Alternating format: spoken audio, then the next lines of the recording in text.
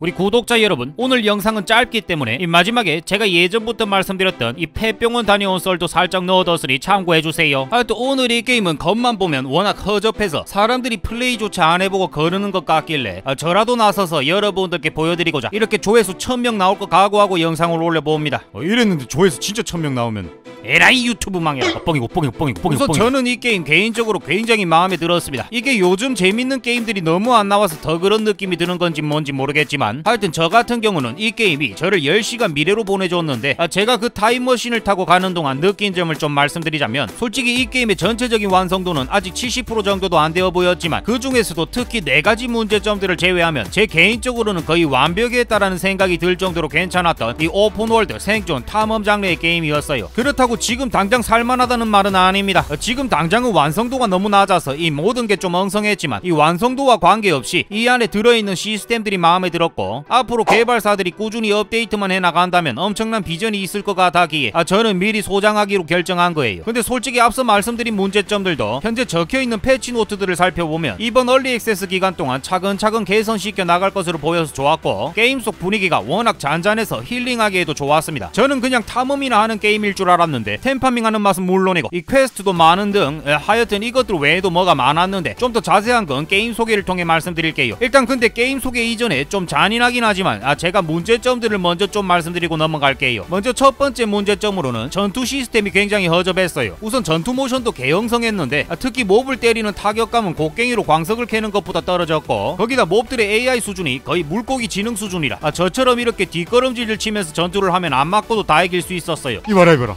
지금 물고기랑 싸우고 있다 한마디로 아직 전투 요소는 준비가 되지 않았다 이 말이에요. 다음으로 두 번째 문제점으로는 길 찾기가 너무 어려워서 이 퀘스트를 깨려고 하면 좀 살짝 귀찮아진다는 점이 좀 있었습니다. 보시면 아시겠지만 이 맵을 열면 여러분이 좌표와 이 컴퍼스만 보고 알아서 찾아가야 되는 개 원시인 같은 시스템이었어요. 다음으로 세 번째 문제점은 이 바다를 항해하며 자동으로 생성되는 섬들을 찾아다닐 수 있다는 점은 굉장히 좋았지만 아 문제는 자동으로 생성된 섬들이 네 종류로만 계속 생성이 되어서 이 막상 들어가 보면 섬의 구조가 거의 다 비슷했었습니다. 이 4시간 동안 새로운 섬만 20군데는 돌아다닌 것 같은데 막상 들어가 보면 이 템들과 몹들은 리젠되어 있었지만 그냥 다 비슷비슷했어요. 아마 이게 가장 큰 문제점이 아닌가 싶은데 일단 다음 패치 내용을 살펴보니 추후에 새로운 타입의 섬들과 방문할 만한 장소들을 더 많이 추가해 나간다고 하니 안심은 됐습니다. 자 그리고 다음으로 마지막 문제점은 아직 한글이 안 되었다는 점인데 우선 저도 언어 문제에 대해 이미 질문을 올리긴 했는데 제가 받은 답장이라고는 앞으로 추가 언어 패치 작업을 진행해 나갈 예정이라는 답변만 받았고 그게 한글이 될지 뭐가 될지에 대한 건 전혀 언급이 없어서 아직까지 확답을 드리질 못하겠습니다. 일단 어떤 언어들을 추가시킬지는 모르겠지만 한국에서 판매가 어느 정도 된다 싶으면 얘네들도 뭐 한글 패치를 해주지 않을까 하는 생각은 들었어요. 하여튼 이렇게만 들어보면 거의 패망한 수준의 게임인 것 같지만 아 그렇진 않았습니다. 전체적인 완성도는 아까도 말씀드렸듯 아직 뭔가 마감질이 덜 된 느낌이라 약 70%에도 그치지 못할 것 같지만 그래도 굉장히 할 수 있는 게 많았기도 하고 앞으로 패치들도 계속 나올 거라는 것으로 봐서 이 비전은 넘칠 것 같아 보였어요. 자 이제 잔인하게 이 게임에 대한 단점들로 개후드려 패고 시작했으니까 이제 이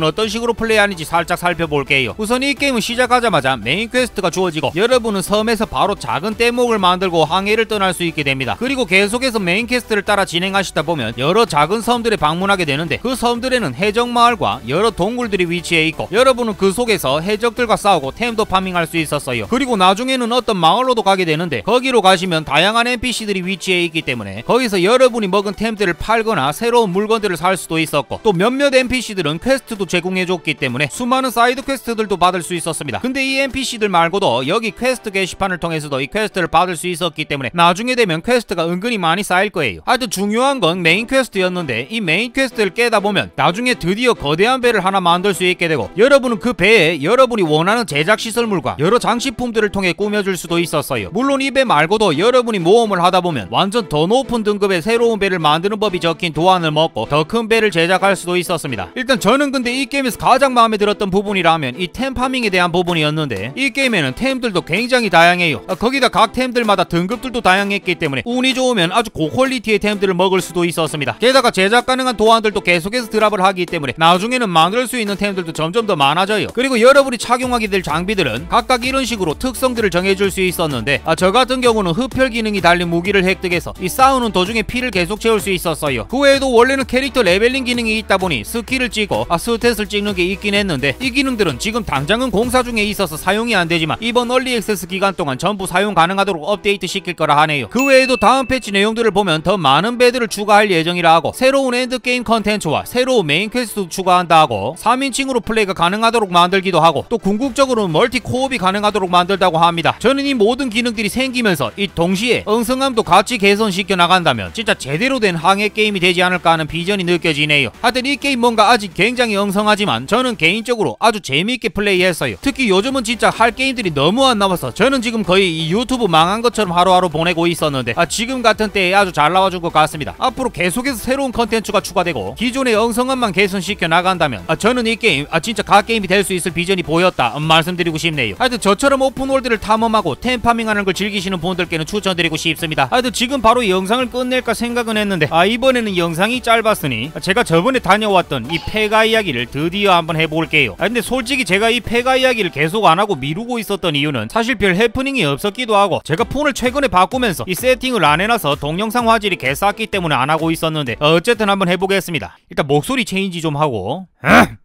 야!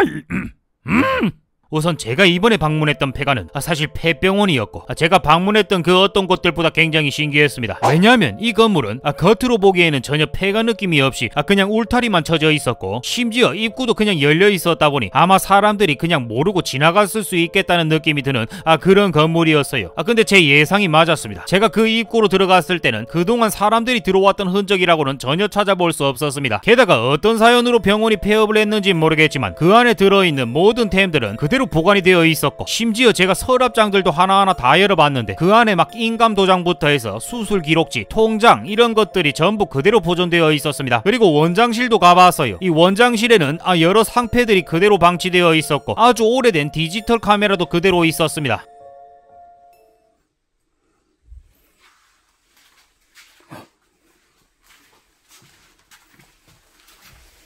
누가 용돈 놔두고 갔는 것 같다.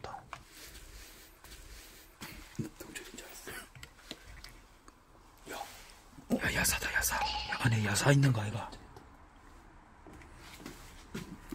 배터리 다 나갔을 거야.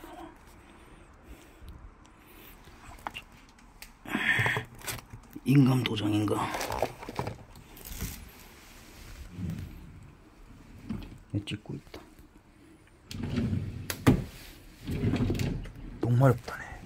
아, 지금 똥마렵다. 솔직히 저는 예전에 어떤 폐가에 방문했다가 이 금반지를 발견한 적도 있었는데 여러분들도 아시겠지만 그게 아무리 탐이 나더라도 아 그런 곳에 있는 물건은 함부로 건드리면 진짜 인생이 아작날 수 있기 때문에 아 절대 가만히 두는 게 좋아요. 그래서 저도 물건들은 최대한 건드리지 않았습니다. 진짜 휠체어도 거의 수백 개가 접혀 있었는데 제가 얼마 전에 다리를 다쳐서 아는데 이 휠체어를 저도 사려고 했었는데 그때 보니 이 가격이 하나당 한 3만 원 정도였었습니다. 아 그러니 여기 한 수백 개가 있다면 얼마겠습니까? 그 외에도 이 의료기기들도 그대로 있었고 여러 가지 비품들이 좀 많았는데 왜 그대로 두고 갔는지 이해할 수 없었습니다. 하여튼 저는 너무 신기해서 2층으로 또 올라갔어요. 일단 2층은 1층보다 훨씬 음산했습니다. 여기서도 방을 하나하나 다 둘러봤는데 역시 마치 어제까지 환자가 있었던 방처럼 사람의 모든 흔적들이 그대로 남아 있었어요. 근데 저는 이 모든 게 너무 신기해서 곧바로 3층으로 또 가보려 했는데 아 갑자기 함께 갔던 친구가 계단을 오르다 말고 어 여기는 뭔가 진짜 아닌 것 같다 이러면서 계속 이제 집에 가자고 하는 겁니다. 원래 제가 같이 있었던 이 친구도 폐가를 가면 보통 끝까지 다 보는 친구 인데 이날은 좀 이상했습니다. 근데 보통 저 같았으면 어떻게든 쫄라서 더 보자고 했을 텐데 아 솔직히 진짜 그 3층은 거의 한겨울 날씨처럼 추웠고 진짜 엄청난 음기가 느껴졌기에 저도 머뭇거리다 그냥 같이 집으로 돌아가기로 했었어요. 그 당시에 바깥의 온도는 30도로 가만히 서 있기만 해도 겨드랑이에 땀이 차는 그런 온도였는데 진짜 2층과 3층의 온도 차이는 제 느낌상 거의 10도 이상은 차이 난다는 느낌이 들었어요. 그건 마치 제가 딱 멈춘 자리 바로 앞에 이 귀신이 서 있었던 그런 느낌이었습니다. 아니면 진짜 우리가 그 귀신 위에 서 있었던 것은 아닌가 하는 생각이 들기도 했어요. 그래서 저도 친구도 마치 어디에 홀린 듯 아, 자연스럽게 집으로 향해서 어휴! 뒤에 선반에 있던 물건이 떨어졌다. 여러분 저 지금 바지에 오줌 쌌습니다.